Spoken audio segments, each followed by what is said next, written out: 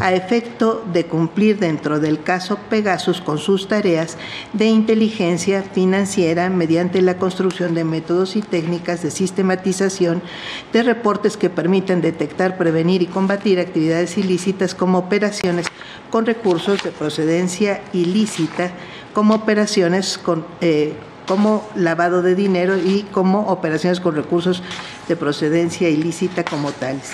En este punto no se advierte del proyecto que se emite pronunciamiento sobre el estado procesal que pudieran tener las indagatorias ministeriales derivadas de los informes y avisos solicitados para acreditar que efectivamente la difusión de la información no representa un perjuicio al interés público que implicaría su difusión, aunado a que los informes y avisos presentados por las entidades federativas tienen estrecha relación con los principios que rigen al secreto bancario, puesto que derivan de las actividades financieras que realizan los usuarios. Por favor. Sí, señor ministro. Señor ministro Gutiérrez Ortiz Mena. A favor. Señor ministro González A Alcántara. favor del proyecto modificado, separándome del párrafo 85 y con un voto concurrente. Señor ministro Esquivel Moza. Con el proyecto modificado y con voto concurrente en los dos, el anterior y este. Gracias. Señor ministro Ortiz Alba. En contra por las razones que expresé en el recurso de revisión analizado anteriormente. Señor ministro Aguilar Morales. Con el proyecto modificado. Ministro Pardo Rebolledo. A favor del proyecto. Señor ministro Bates Guadarrama. En contra. Señor ministro Ríos Farjat. A favor del proyecto con voto concurrente. Señor ministro Lainez Potisek. Con el proyecto. Señor ministro Pérez de De acuerdo con el proyecto. Señora ministra presidenta Piña. Yo con el sentido del proyecto con un voto concurrente. Señora ministra presidenta, me permito informarle que existe mayoría de nueve votos a favor de la propuesta. Señor ministro González Alcántara Carrancá en contra del párrafo 85 con anuncio de voto concurrente. La señora ministra Esquivel Moza con anuncio de voto concurrente. La señora ministra Ríos Farjat con anuncio de voto concurrente. Y la señora ministra presidenta Peña Hernández en contra de consideraciones con anuncio de voto concurrente. Voto en contra de las señoras ministras Ortiz Alf y Batres Guadarrama. Gracias. Quedaría así decidido este asunto. Ministra Batres. Sí, eh, disiento con el proyecto, pues considero que el agravio de la autoridad recurrente resulta parcialmente fundado por las siguientes razones. Uno, que el proyecto señala en el artículo 2, inciso C del acuerdo de Escazú, dispone, que dispone la obligación de los estados de permitir el acceso a cualquier información medioambiental, incluyendo la relacionada con riesgos ambientales y posibles impacto- impactos adversos que lo afectan o pueden afectar. Afirma que el artículo 5 del acuerdo retoma los parámetros reconocidos a nivel constitucional en materia de derecho de acceso a la información, aplicados específicamente para supuestos medioambientales, con énfasis en que su interpretación deberá considerarse conforme a los objetivos generales que plantea este tratado internacional, lo que incluye la facilitación de la participación pública y la garantía del acceso a la justicia en asuntos ambientales.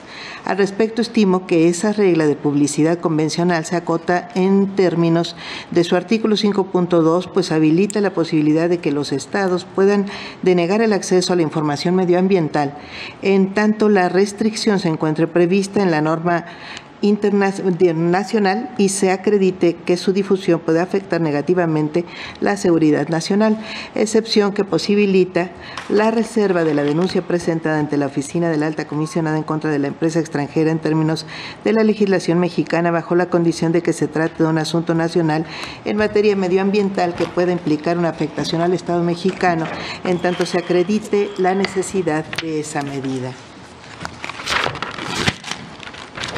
Sobre la actuación de las personas privadas en el artículo 1, último párrafo de la Ley de Amparo y esta Suprema Corte, se ha definido que la actuación de los particulares puede catalogarse como violatoria a los derechos humanos a partir de la valoración de las relaciones jurídicas que tienen los derechos de, en contraposición con otros bienes o derechos constitucionalmente protegidos. En el caso concreto, atento a lo previsto en el artículo 1 de la Constitución, el gobierno mexicano está cumpliendo su mandato de prevenir, investigar, sancionar y reparar todas las violaciones a derechos humanos específicamente por las que afirma que fueron cometidas por la empresa extranjera en su carácter de persona privada y particular en contra del medio ambiente. Precisada la delimitación del marco convencional y nacional sobre la información medioambiental en relación con la actuación de personas particulares, el proyecto asegura que la Oficina de la Alta Comisionada de los Derechos Humanos no cuenta con funciones relacionadas con la atención de posibles denuncias por violaciones a derechos humanos cometidas por parte de empresas, por lo que no advierte ningún procedimiento en el que pudiera existir una determinación final en la que se pueda atribuir responsabilidad internacional por esos hechos. Bajo mi consideración, Parte de las funciones de la Oficina de la Alta Comisionada constituyen la cooperación y asistencia de Estados para el cumplimiento de sus obligaciones en materia de derechos humanos, así como el pronunciamiento objetivo frente a violaciones de derechos humanos.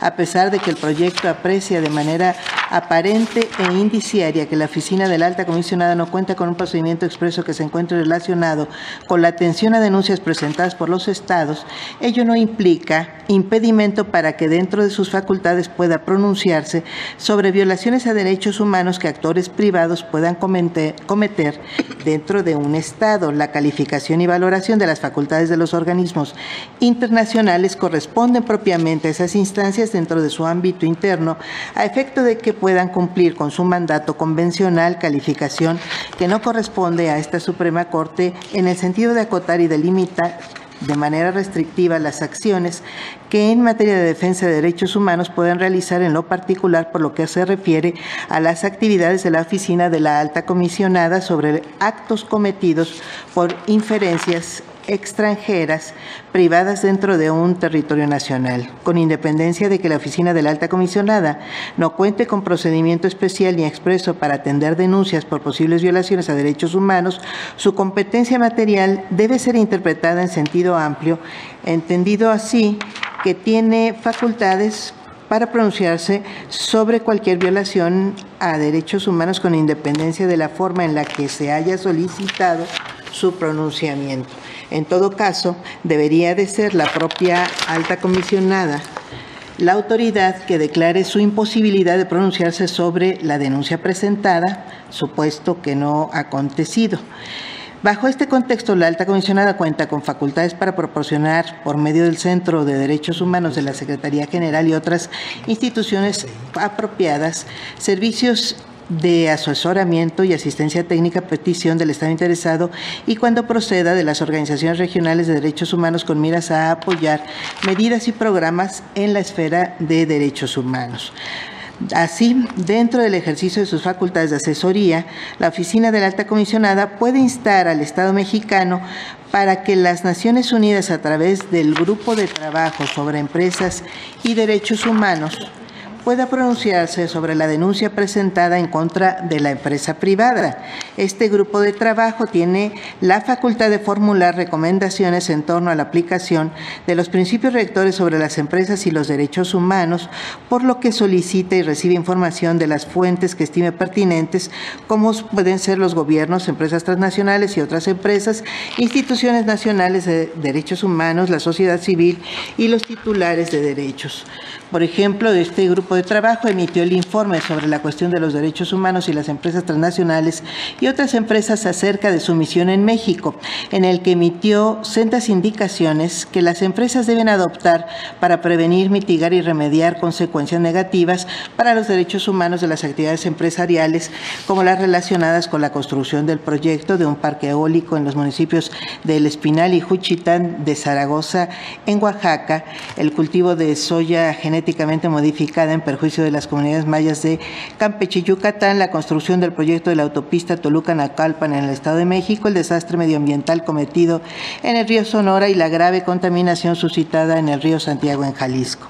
En tanto la alta comisionada no tome una determinación final al respecto de la denuncia presentada en ejercicio de las facultades convencionales que le fueron otorgadas por los estados, estimo que resulta indispensable asegurar que cuente con los elementos suficientes que le permitan acordar una decisión respecto de la probable comisión de violaciones de derechos humanos cometidos por la empresa extranjera demandada.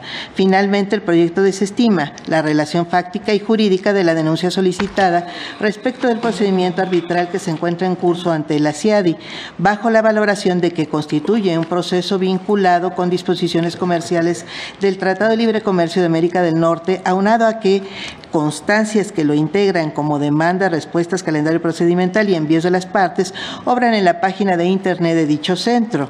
Sobre este punto me permito precisar que si bien se encuentran públicas las partes del procedimiento arbitral en el sitio electrónico del centro señalado, el proyecto no precisa si la denuncia solicitada en materia de reserva obra de manera literal en esas publicaciones para afirmar que se trata de un elemento que permita determinar su entrega a la persona solicitante.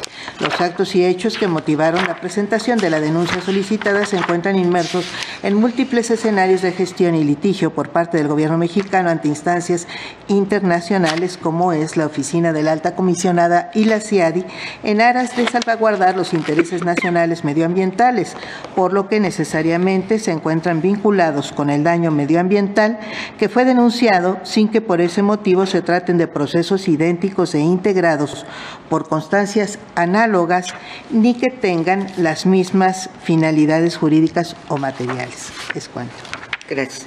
Ministro Aguilar. Gracias, señora ministra, presidenta.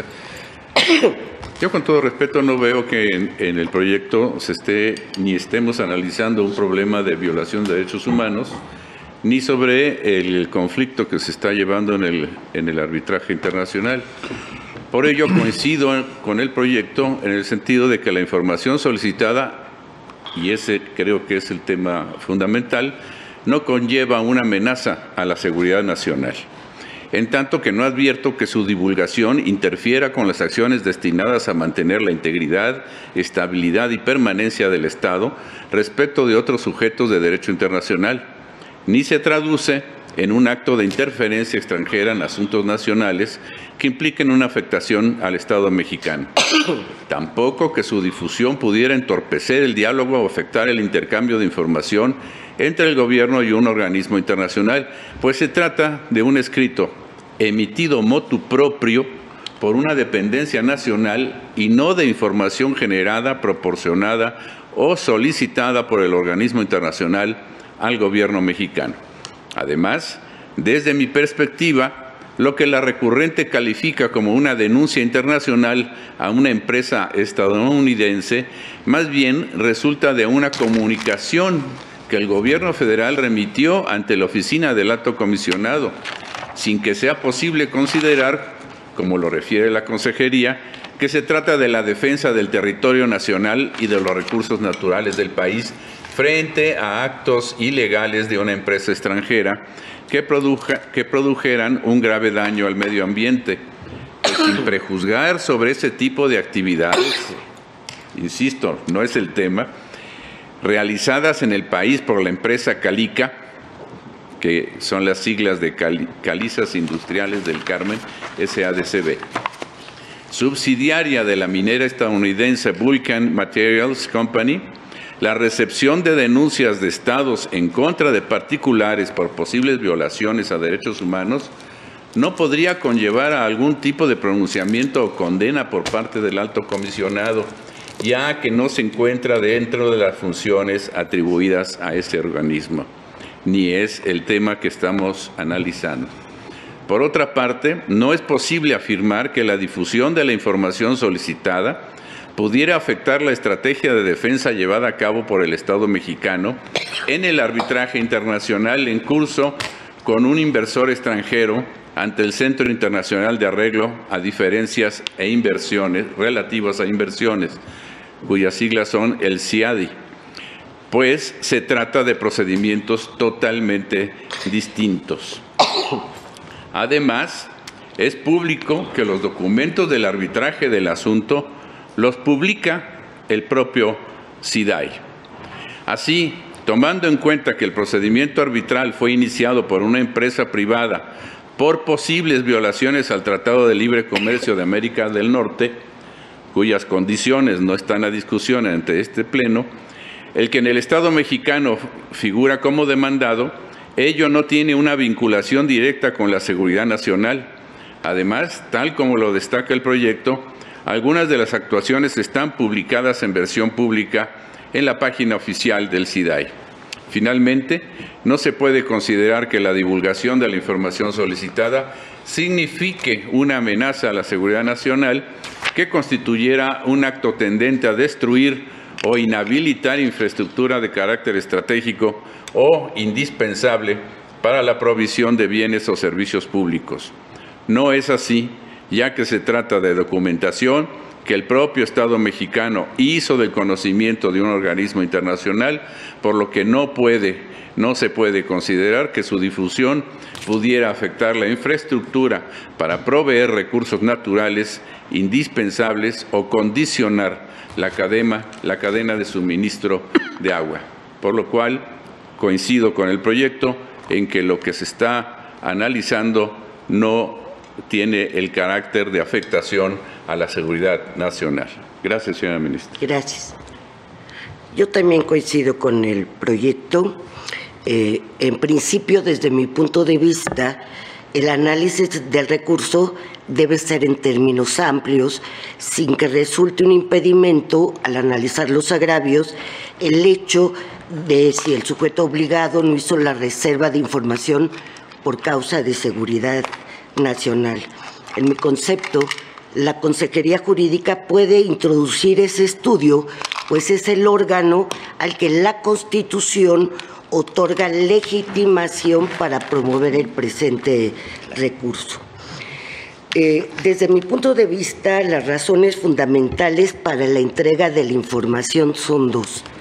En principio, tenemos que recordar qué pidió eh, la persona y qué ordenó entregar el INAI.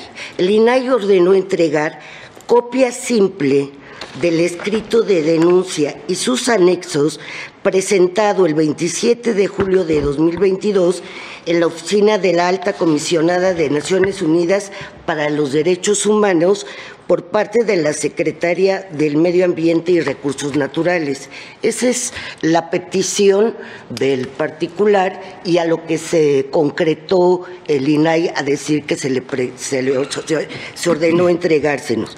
Ahora, la primera razón por, las que, por la que no sí comparto el proyecto en el sentido es que bajo la prueba de daño considero que no hay una afectación o riesgo a la seguridad nacional relativa a la interferencia extranjera en asuntos nacionales, pues los documentos solicitados están inmersos en un mecanismo de denuncia al que se acudió de forma voluntaria ante un organismo internacional humanitario y lo hizo precisamente una secretaria de Estado.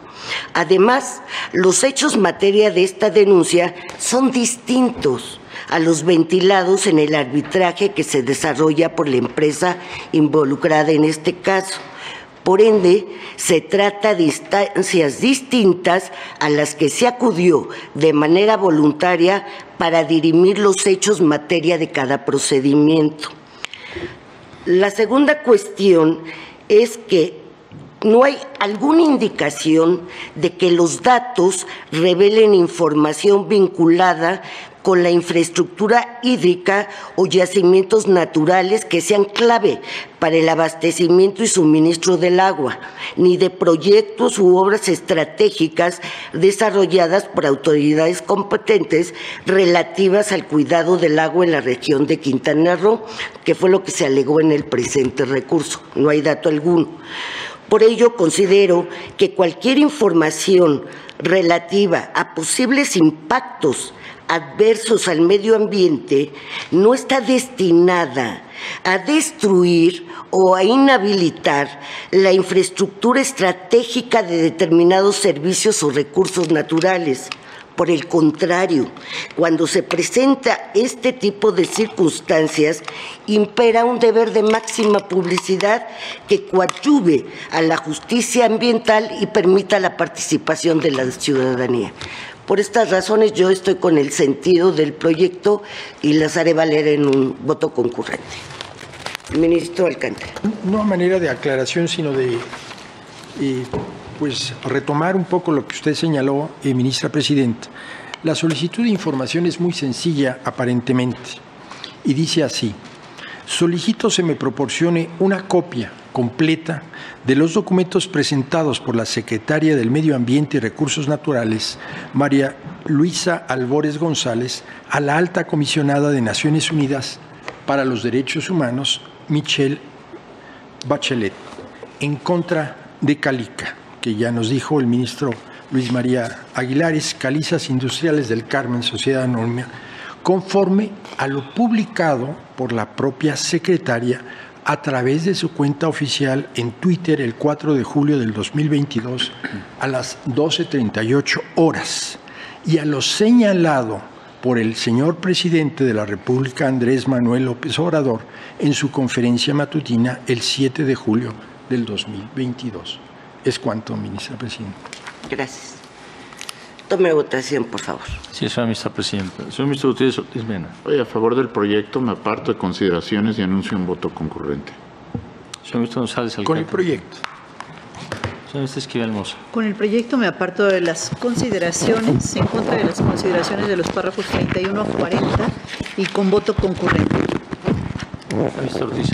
En contra ya no tengo voto particular. Señor ministro Aguilar Morales. A favor del proyecto.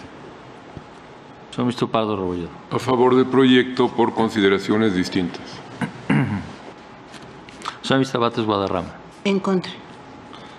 Señor ministro Ríos Farjat. A favor del proyecto me aparto de consideraciones y tengo un voto concurrente. Señor ministro Lainez Potisek. Con el proyecto. Con el proyecto y me aparto de los párrafos 44 47 del mismo. Señora ministra presidenta Piña Hernández. Con el proyecto apartándome de consideraciones y con un voto concurrente. Señora ministra presidenta, me permito informarle que existe mayoría de nueve votos a favor de la propuesta. El señor ministro Gutiérrez Ortiz Mena en contra de consideraciones que anuncio de voto concurrente. La señora ministra Esquivel Moza en contra de los párrafos 31 a 40 anuncio de voto concurrente. El señor ministro Pardo Rebolledo en contra de consideraciones por consideraciones distintas.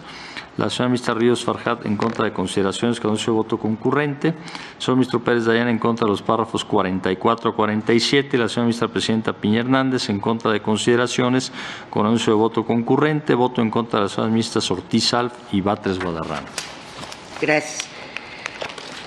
Eh, ¿hay- ¿Hubo algún cambio en los resolutivos? Ninguno, señora ministra presidenta. Consulto si los podemos aprobar en votación económica. Quedan aprobados por unanimidad y decidido en definitiva este asunto. ¿Tenemos algún otro asunto?